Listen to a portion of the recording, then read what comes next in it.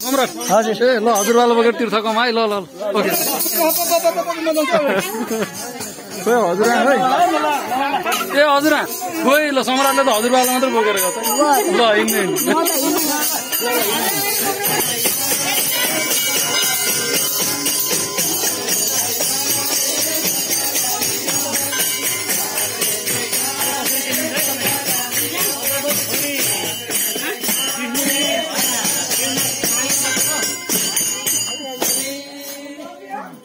வருங்க